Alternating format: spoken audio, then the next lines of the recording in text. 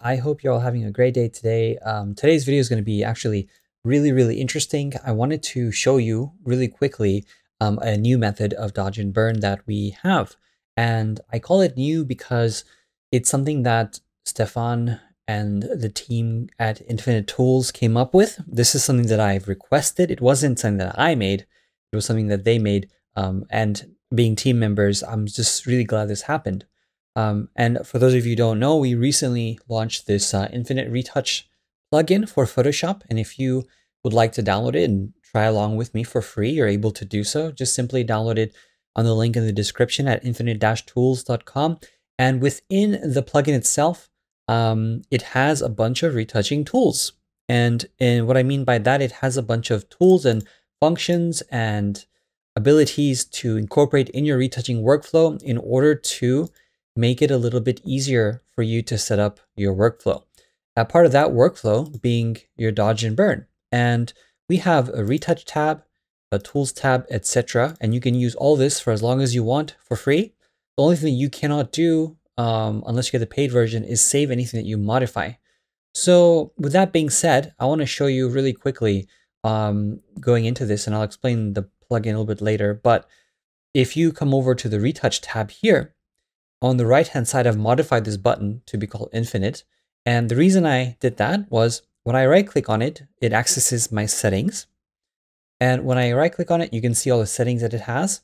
The first one here is called method. Now, for those of you who are familiar with dodge and burn, typically use curves or a blank layer or something like that. So I'm going to click on curves here, go back, and if I click on the button, it's going to execute a standard curve. And so you can see here, it adds these two folders for dodge and burn, and within them has the standard curve that we are all accustomed to. Now, let me just delete that really quick. And if I go back here under my settings and I right click on infinite, because that's what it's called for the infinite curves, I'm going to come down here to infinite curves and click on that. And the button itself can also be renamed to whatever you want. You can change the actual group name once it's set up um, and also the independent um, dodge and burn in case you call it something else in your own specific language. Now I'm going to click back and back again. I'm going to hit play. And over here, you can see that it looks the same. It has a curve within these folders here, but you'll notice two things. Number one, it has a different kind of uh, anchor layout here. And the same thing goes for burn. It has a different anchor layout here.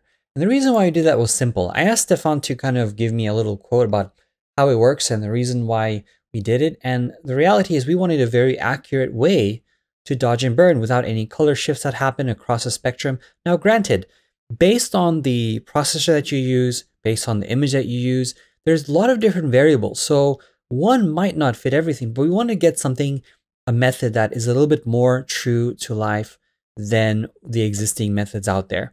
And so when I have a little document here, I want to show you, and it's kind of a mission statement for our Dodge and Burn. It says, we've tried to find the best way in Photoshop to change exposure exactly one stop without modifying or messing up the colors. And that's the thing you find often is when you're dodging and burning, sometimes you end up getting color shift and saturation shift. So we wanted to mitigate that almost as if it's adjusting it similar to a raw file and you're bringing it up in exposure to one stop without messing it up as much as possible.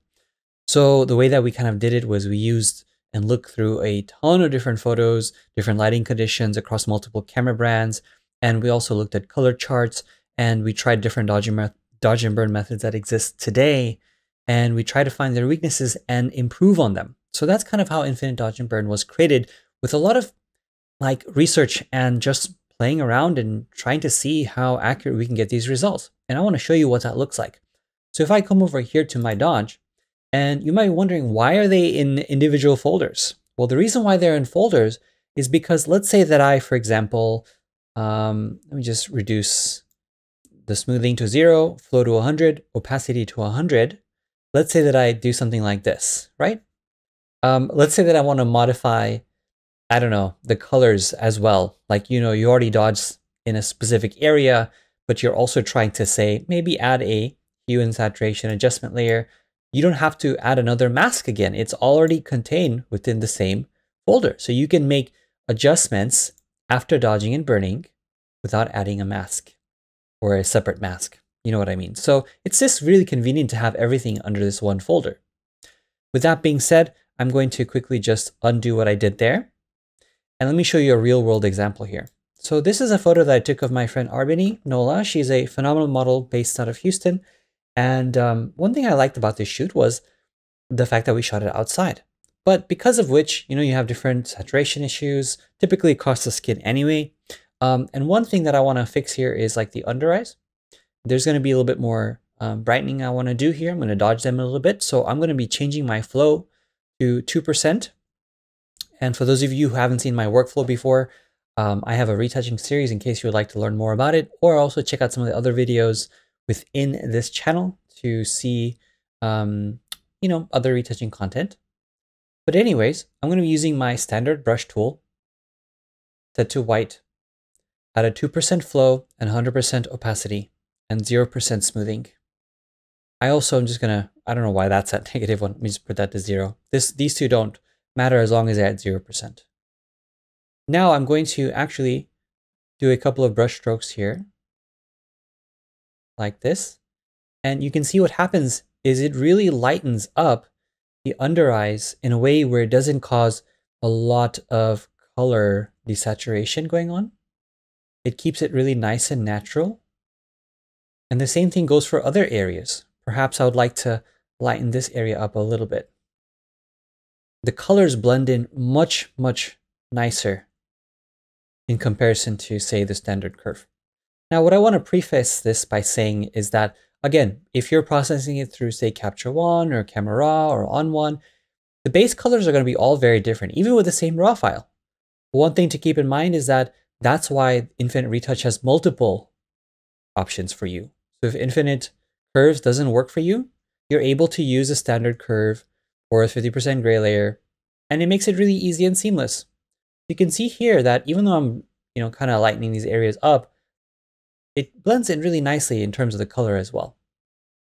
And if I go ahead and do the same for this area here near the mouth, you'll see that as I turn this on and off, the colors themselves stay relatively nice. And that's kind of what I want to go for here is if we're adjusting the exposure by say a stop or less, it makes it really nice and uh, clean.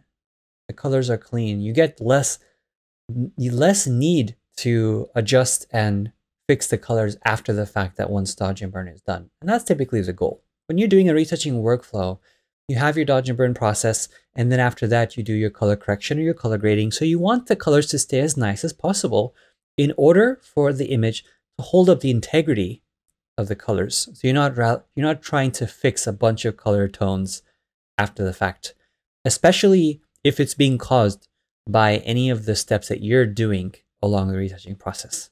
Okay. Also keep in mind that over here on the left-hand side, it has a um, soft light soft light button.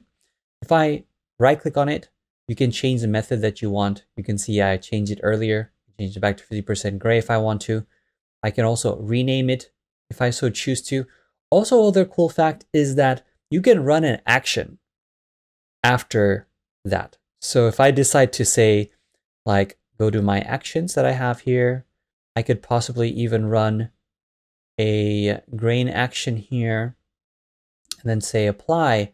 What happens is that when I click on the button, you can see it runs my dodge and burn 50% gray layer and it adds um, a grain layer after that too. So you can kind of daisy chain or connect various methods really easily, which is really, really cool. And it gives you two buttons, so you can decide what two methods you would like to use often. That's kind of how I like to envision this, and I'm just gonna kind of bask in the beautiful results that I've gotten here really quickly. Um, and you can see the colors actually stayed really nice, visibly pleasing, I should say.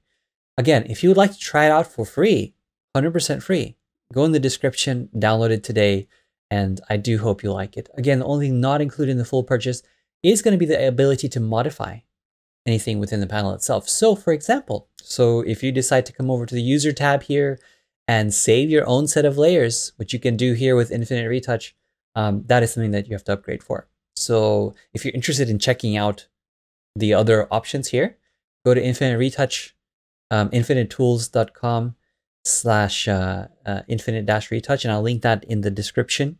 You can see all the videos if you just scroll down to the Academy page where you can learn all about all the functions of this panel and see what it could do for you. I personally believe in it because I use it for my workflow. As you can see, it's very functional and versatile, has frequency separation options. It has uh, healing options. It has the standard color correction options and multiple grain engines too, in case you're interested in getting really cool film grain scans. So there you go. I hope you liked it. I don't want to ramble on too much. I love talking about it. I get really excited and um, I can't wait to see what you do with it. And that's it. Hope you have a good time and please check out the other videos on this channel and all the links in the description for more information.